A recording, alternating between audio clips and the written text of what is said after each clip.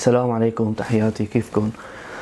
آه، في ظل الحجر الصحي اللي عم يصير عند بعض الناس وعند بعض الدول آه، الناس أخذت الموضوع بجانب آه، نفسي كتير يعني وهم وهم. دائما الوهم أصعب من المرض نفسه.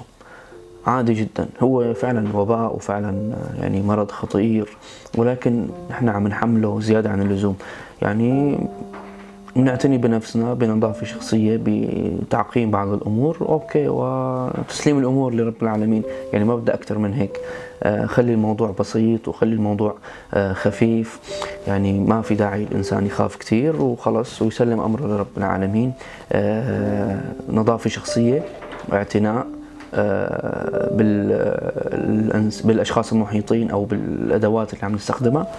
والموضوع بيكون يعني جدا بسيط جدا. يعني ما بده هذا الرتم العالي اللي عم نشوفه أو عم نسمع عنه على القنوات لأنه في ناس كثير صار عندها وهم.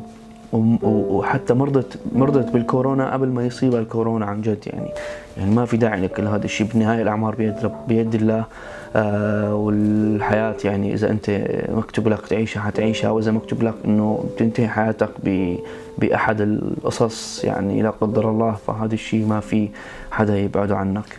خلي هذا اليقين موجود جواتك وجوات كل إنسان لازم إنه خلص سلم أمرنا لرب العالمين ونحط عيوننا بعيون رب العالمين ونتوكل على رب العالمين.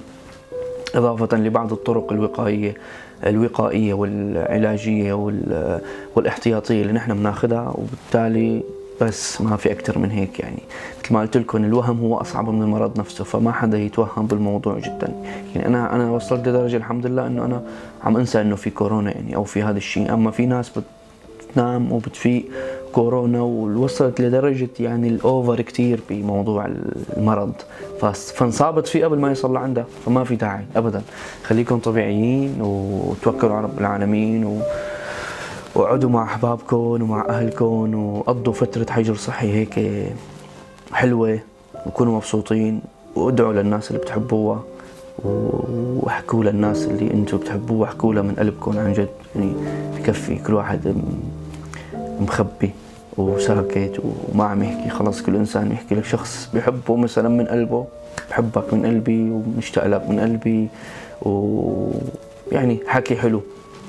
خلي لساننا دائما هيك فيه كلمات حلوة وطيبة لحتى نفرح ناس ونسعد ناس ومثل ما أنا مشتاق وبحب و- وكثير ناس يعني مثلي أكيد. فلا حدا يعيش بمرحلة الوهم والمرض هي لأنه الوهم أصعب من المرض نفسه.